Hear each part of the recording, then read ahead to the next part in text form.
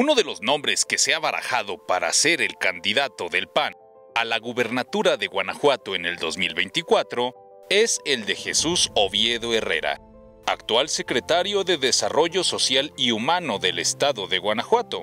Sin embargo, en los últimos días se ha dado a conocer información que devela un supuesto avance de Morena en las preferencias electorales en las principales ciudades del estado de Guanajuato, lo que de ser cierto pondría las cosas color de hormiga para el próximo posible candidato del PAN. Por esta razón, decidimos preguntarle qué opina Jesús Oviedo Herrera de este supuesto avance del partido Movimiento de Regeneración Nacional en la entidad y esto fue lo que nos comentó. Su opinión acerca de este presunto avance de Morena en la entidad. Salía una encuesta el día de ayer de Massive Color que eh, posiciona a Morena arriba en la mayoría de las ciudades del corredor industrial. No conozco las metodologías para poderte decir sobre eso específicamente. Lo que sí nosotros estamos haciendo es trabajo, cercanía, eh, resultados resolución de problemas. Eso es lo que estamos haciendo y eso es lo que vamos a seguir haciendo.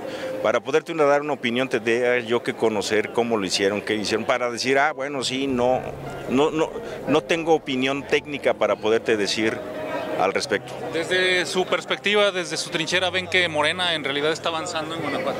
¿Se percibe eso? No lo tengo yo porque finalmente yo voy a la calle, a las colonias, a los municipios y me parece que hay un buen entusiasmo, la gente está entusiasmada con lo que se ha venido haciendo el gobierno del Estado y creo que hay una cierto agradecimiento a ese, a ese, trabajo. ¿Habrá posibilidad de que Morena sea un verdadero rival de cara a las elecciones del 2024? Eso habrá que preguntárselos a ellos. Nosotros estamos haciendo nuestro trabajo y vamos a seguir haciendo nuestro trabajo con la confianza, con la honestidad y con la lealtad que siempre tenemos que hacerlo. ¿El PAN se queda con Guanajuato en 2024?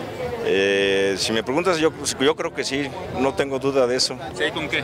Ah, por supuesto, hay con qué, hay equipo, hay candidatos, hay personas, hay gente con talento, hay gente con experiencia. Hay...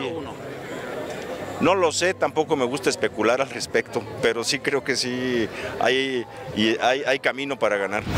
Al preguntarle si realmente está dentro de sus intereses u objetivos el buscar la candidatura a la gubernatura de Guanajuato por el PAN en 2024, Jesús Oviedo Herrera declaró que primero va el trabajo y que todo quedará en manos del partido y la ciudadanía. Bueno, pues es lo que estamos buscando. Primero el trabajo y si ese trabajo nos genera ese posicionamiento, pues bienvenido.